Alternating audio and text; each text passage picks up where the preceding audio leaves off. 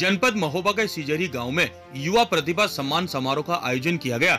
Sanjay Gandhi junior high school सिजरी में आयोजित हुए इस कार्यक्रम में बीजेपी जिलाध्यक्ष जितेंद्र सिंह सेंगर, निवर्तमान जिला पंचायत अध्यक्ष प्रतिनिधि रमेश यादव समेत जैतपुर ब्लॉक प्रमुख प्रतिनिधि कौशल सोनी ने बतौर मुख्य अतिथि उपस्थित रहे। युवा प्रतिभा से जुड़े इस कार्यक्रम में युवाओं को पुरस्कार देकर सम्मानित किया गया। इस मौके पर बीजेपी पार्टी के जिला महामंत्री अंकुर शिवहरे ने युवा प्रतिभाओं को भारत का भविष्य बताते हुए उनका उत्साह बढ़ाया।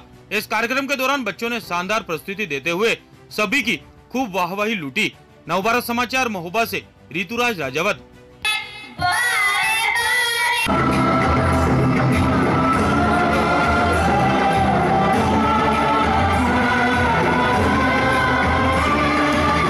जो हमारी सरस्वती वंदना भी प्रस्तुत की गई, दो बच्चियों के द्वारा हमारे सभी आगंतुकों और पूजा बेटा नीचे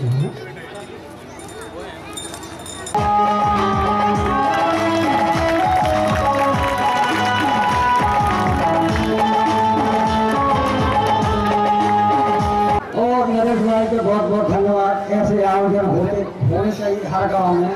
मैं भी विचार कर रहा हूँ कि करूँगा लेकिन अभी काम चल रहा है विद्यालय में। देखिए, राजनीति में अगर आए हैं तो कुछ बदलना पड़ेगा। अगर आए हैं तो ज़िम्मेदारी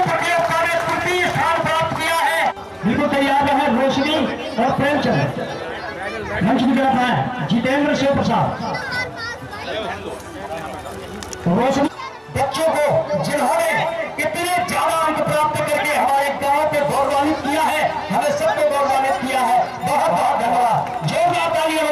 अड़सठ दशमलव छह छह परसेंट अंक प्राप्त किए हैं।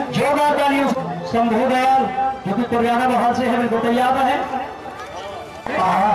तो ऐसा नहीं है पिता से पुत्र को भी आप बच्चे थोड़ा कमज़ोर है, उनका भी सहयोग करें, उनको भी गाइड करें, ताकि आपकी तरह अन्य बच्चे भी आगे निकल सके।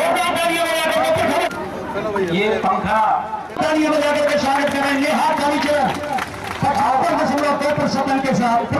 सरकार की व्यवस्था है। आप लोग कहीं ना जाए भी बैठे। जो हमारे गाँव के पचहत्तर फ़ीसद लोग पेपर हो जाए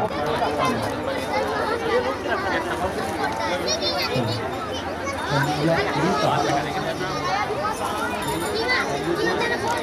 गाँव में जो हमारी भारतीय जनता पार्टी के नेता हैं, समाज में हमेशा अग्रणी की भूमिका में कार्य करते हैं, नरेश राजपूत जी। उनके द्वारा सम्मान समारोह कार्यक्रम था, जिसमें जो यहाँ पर जो मेधावी छात्र छात्राएँ हैं, जिस गाँव से किसी भी क्षेत्र में जिन लोगों ने अपना नाम रोशन किया है, चाहे वह सरकारी सेवा में रहते हुए या प्रगतिशील किसान, जो भी जिस क्षेत्र में सभी लोगों का सम्मान समारोह कार्यक्रम था, वो निश्चित तौर से अच्छा एक अनूठा कार्यक्रम था और ये पहल हर जगह गाँव में होनी चाहिए।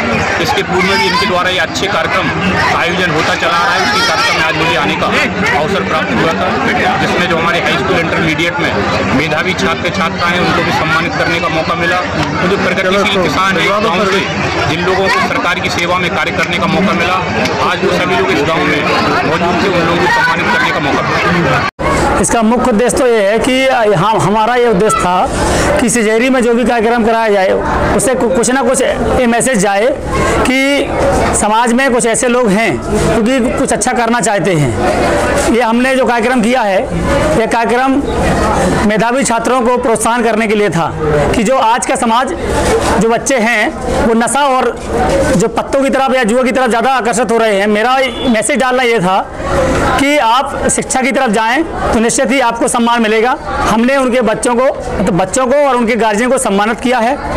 बच्चों को एक बैग था बैग दिया और गार्जियन को सॉल भेंट करके सम्मानित किया है और उनमें से ऐसे छात्र जो कि उत्कृष्ट प्रदर्शन किया है, जैसे कि प्रथम पुरस्कार था साइकिल, द्वितीय पुरस्कार था पंखा और तृतीय पुरस्कार था एक फ्रेस